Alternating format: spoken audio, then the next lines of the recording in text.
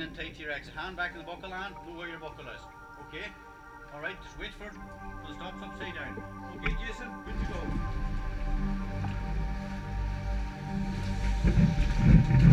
go.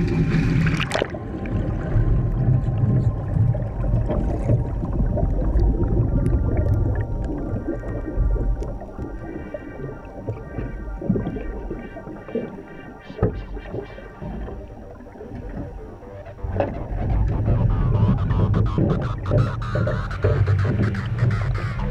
you.